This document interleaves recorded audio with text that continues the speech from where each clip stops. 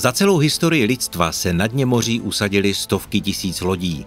Většina z nich se proměnila v prach, jiné jsou v nepřístupných částech oceánu. Některé havarovaly během války, jiné kvůli špatné viditelnosti nebo nehodám a jiné byly potopeny. Ale ne všechny oběti havárií končí historii v hloubkách moře. Některé z nich jsou stále k dispozici pro oko člověka, mají svou vlastní úžasnou historii a jsou oblíbenou turistickou atrakcí. Škuner Sweepstakes Ačkoliv loď havarovala ještě v dávném roce 1885, její fragmenty stále těší návštěvníky Národního mořského parku Phantom 5, protože loď leží jen 6 metrů pod povrchem průhledných modrých jezer Ontario. Nemusíte být potápěči, abyste ji viděli. Je známo, že dřevěný škuner vážil okolo 218 tun. Loď postavená v roce 1867 v Burlingtonu přepravovala uhlí, když havarovala na písčité mělčině. Škuner se pokoušeli opravit, ale škoda byla příliš velká, takže loď se potopila. Přesto bylo veškeré uhlí vyloženo. Přesto je Sweepstakes stále víc a víc ničen pod vodou a i dnes je to jeden z nejlépe přeživších škunerů z 19. století, který brázdil prostory pěti velkých jezer Severní Ameriky. Loď je 7 metrů široká a asi 630 metrů dlouhá. Je udržována kovovými lany nataženými uvnitř trosek. Kromě toho drátěný plot zabraňuje pronikání potápěčů dovnitř lodi, což by mohlo urychlit její zničení. Fotografie jachty Marsem Fim, která se v roce 2012 potopila v Antarktidě, se rozšířily po internetu, ale ne každý zná historii této cesty. 7. duben měl být pro Joa Laru Meskita velkým dnem. Amatérský kapitán a profesionální televizní novinář zasvětil celý svůj život milované práci, natáčení reportáží a vědeckých dokumentů na téma Antarktida. Tato expedice za natáčením dokumentu byla pečlivě naplánována. Čtyři členové štábu, včetně samotného Meskýta, desítky kilogramů videotechniky. Marsem Fim byl dobře vybaven, ale proměnlivé počasí a násilná povaha Antarktidy testují sílu všech, kteří napadají její panenské rozlohy. A někteří touto tvrdou zkouškou neprojdou. Vlny neustále přehazovaly obrovský Marsem Fim ze strany na stranu jako kus dřeva a led, který pokrýval Ardley Bay, narážel na boky lodi a nakonec si převrátil na bok. Členové týmu signalizovali SOS. Naštěstí čilská válečná loď Frey nebyla daleko od jachty v potížích. Provedení záchranné akce přes 1,5 metrové vlny a pekelný vítr o síle 100 km za hodinu trvalo dva dny. Všichni čtyři členové posádky byli přivedeni domů v pořádku. Osud Marsem Fim však určila Antarktida. Ledová voda zaplavila palubu a pokryla ji pevnou krustou ledu. Pod tíhou se paluba nakláněla a praskala ve švech v důsledku stlačení.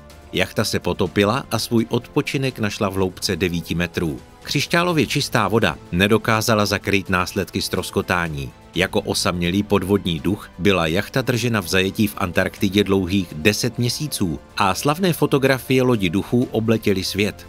Pro Meskýta to, co se stalo, byla velká rána. Lodi bylo škoda, ale důležité dokumentární informace a vybavení zůstaly uvnitř. Meskýte se nekompromisně rozhodl zvednout svou jachtu ze dna. Potápěči, podvodní inženýři a záchranáři sestrojili speciální zařízení k vytažení lodi. Boje, nafukovací bojky byly připevněny k jachtě a postupně se plnily vzduchem. Operace byla úspěšná. Marsem Fim byla vyzvednuta a odtažena na břeh. USS Arizona 7. prosince 41 žila bitevní loď USS Arizona normálním ranním životem. Na můstku byly vstyčeny signální prapory a ke straně pluly čluny s námořníky. Mělo to být typické nedělní ráno na Havaji, ale v tuto dobu byly japonské bombardéry pět minut od námořní základny. 8 hodin se čas bitevní lodi zastavil – USS Arizona byla postavena v roce 1914 v brooklynské loděnici. Zároveň byl přítomen člověk, který měl o ztracené lodi říci poslední slovo – Franklin Roosevelt.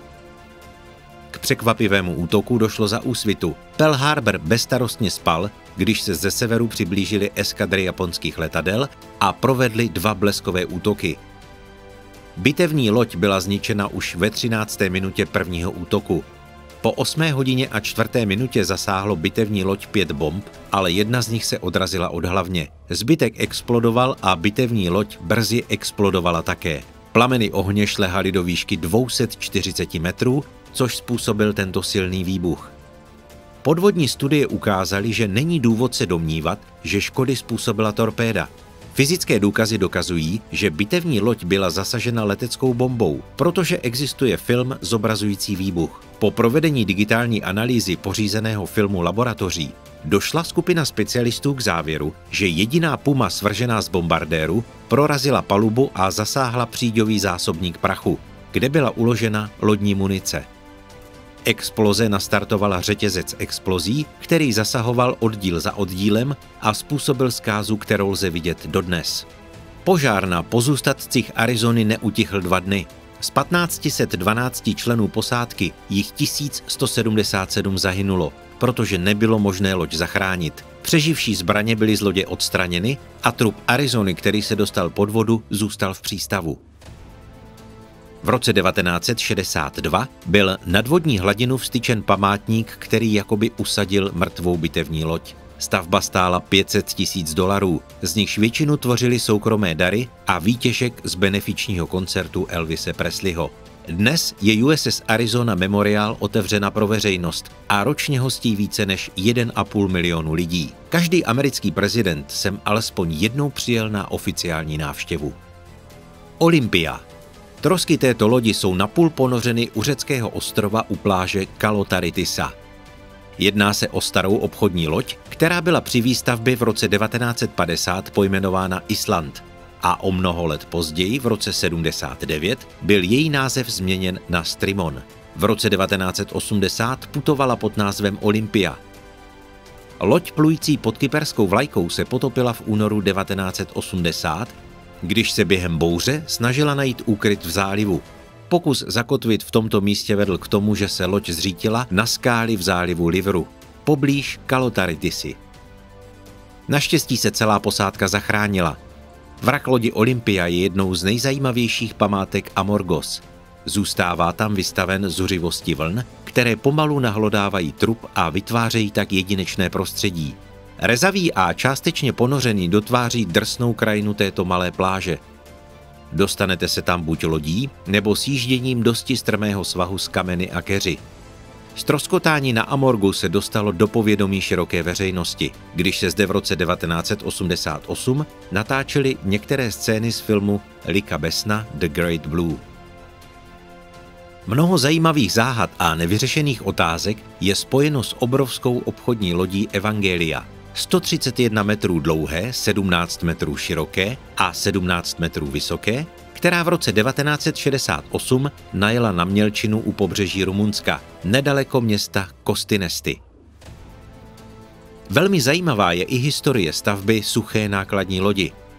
Byla postavena v roce 1941 a původně se jmenovala Saxon Star 2 v lodinici Harland a Wolf postavili obchodní loď, v té samé, kde byla provedena stavba Titaniku. Během válečných let sloužila loď k přepravě raněných a v období 46 až 58 byla loď využívána jako přepravní. V roce 1959 byla nákladní loď prodána řecké společnosti a přejmenována na Evangelia. Provozovala ji 10 let, dokud se loď náhle neocitla na Mělčině poblíž rumunského letoviska. Některé důkazy naznačují, že loď najela na Mělčinu na příkaz majitele, který za ní chtěl pojistné očkodnění. Během katastrofy byla u pobřeží skutečně pozorována hustá mlha, ale moře bylo v té době velmi klidné. Přístav Konstanta obdržel SOS z nákladní lodi Evangelia 14. října. Záchranná loď Albatros vytáhla Evangelii z písčiny a zdálo se, že její posádka se těší na pokračování cesty – ale další den našli záchranáři evangelii na stejném místě. Po vyšetření se ukázalo, že posádka evangelie záměrně poškodila loď a poslala ji na břeh. Jak se ukázalo, plavební licence lodi vypršela před dvěma lety. Majitel přesvědčil posádku, aby loď zničila, čímž by získal peníze z pojištění. Po katastrofě bylo veškeré vybavení lodi pečlivě zkontrolováno a nebyly zaznamenány žádné poruchy. Podnikaví řekové se dokonce pokusili uplatit rumunské záchranáře, ale nakonec loď opustili a zůstali bez pojištění. Loď zůstala na svém místě v naprostém bezpečí 44 let, než se kvůli silné bouři v prosinci 2012 rozdělila na dvě části. Místní jsou velmi vděční bývalým majitelům Evangelia, protože obrovská suchá nákladní loď se právem stala symbolem Kostinesty a láká mnoho turistů k odpočinku u Černého moře v Rumunsku. SS America, známá také jako American Star, je zaoceánský parník s neobvyklou, dokonce hrdinskou historií. Od své stavby v roce 1938 až po její stroskotání v roce 1994 prošla loď mnoha jmény. Mezi nimi byly USS West Point, SS Australis, SS Italis a SS Alferdos. Loď byla postavena v lodinici Newport News ve Virginii. Interiér lodi se snažili udělat skutečně útulným a jako dekorativní prvky byla použita nerezová ocel a keramika. Loď byla spuštěna na vodu v roce 1939 za přítomnosti americké první dámy Eleanor Rooseveltové.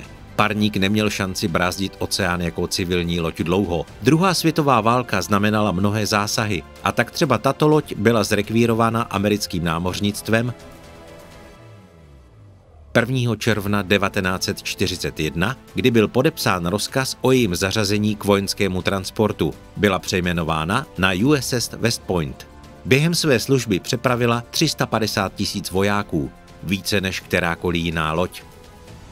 V roce 1944 vytvořila rekord v přepravě 9305 lidí na jednou. Na konci své služby pokračovala do Newport News, kde byla přeměněna zpět na osobní parník a znovu přejmenována na SS America. Po válce se loď plavila na linkách New York Bremerhaven a byla velmi oblíbená u mnoha turistů cestujících po moři. V následujících letech loď více než jednou změnila majitele a uskutečnila mnoho plaveb. Na konci 80. let byla prodána do šrotu za 2 miliony dolarů. Po demontáži člunů však byly práce pozastaveny.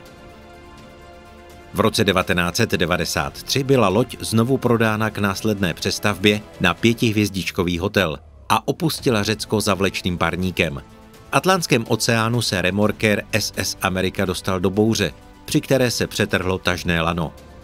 Z remorkéru bylo vysláno šest lidí k zajištění náhradního kabelu, ale jejich pokus byl neúspěšný. Poté byly na pomoc povolány ještě dva remorkéry, ale tentokrát se nedalo nic dělat. Posádka SS Amerika byla evakuována vrtulníkem a druhý den loď najela na Mělčinu poblíž Kanárských ostrovů. Při nárazu se rozlomila na dva kusy. V roce 1996 se záť lodi propadla a potopila, zatímco příď zůstala na břehu, což přilákalo mnoho turistů a fotografů.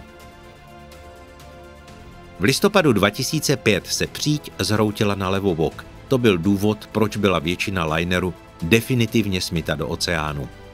V současné době nezůstává na povrchu ani jedna část lodi a trosky jsou rozptýleny pod vodou. A to je pro dnešek vše, přátelé. Brzy opět na viděnou.